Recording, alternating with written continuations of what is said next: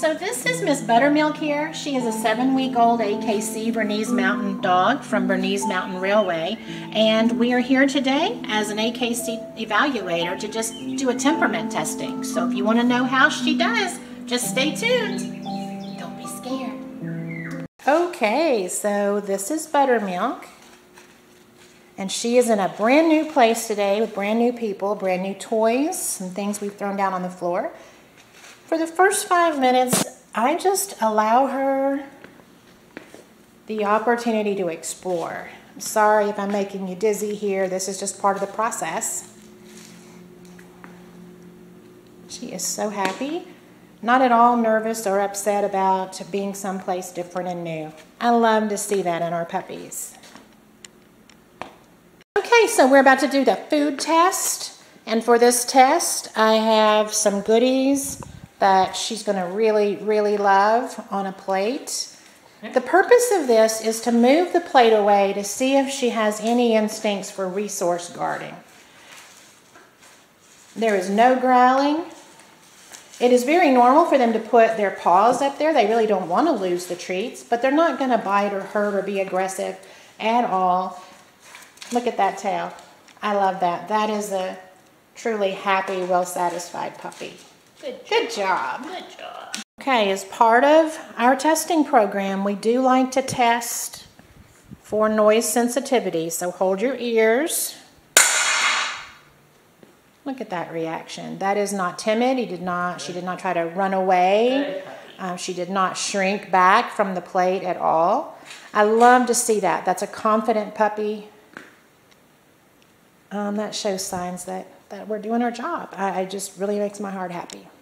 Look at you. Yeah, you like to shake it. There's a lot of different programs out there, a lot of different trainers with a lot of different techniques. Um, one of the things that I pride myself on is that we do no negative training here. Puppy, puppy, puppy. There you go. So if there's been any opportunity at all for this puppy to become fearful at the sound of this plate dropping on the ground, I want to go back and make certain that the last experience that she's had is very positive. So I do treat just to make certain that we've, we've erased any potential negativity there. I think we've done our job. Good job.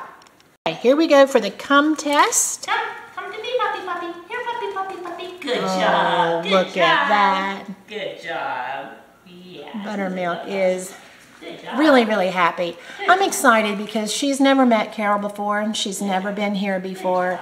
This is all new to her and she demonstrates no hesitation whatsoever. I just, I love to see a confident puppy. Look at that tail. Okay, so here we're just exposing her to a variety of different toys. And what I'm seeing over and over in this litter, which just, just tickles my heart, is that once again, our babies are people centric. I mean, they love the toys, they enjoy playing, but they really just want the love and the attention that they get in our family. So, yeah, Good job. Yes, she's a good baby. Yes. Good job. Look at that tail. she loves you.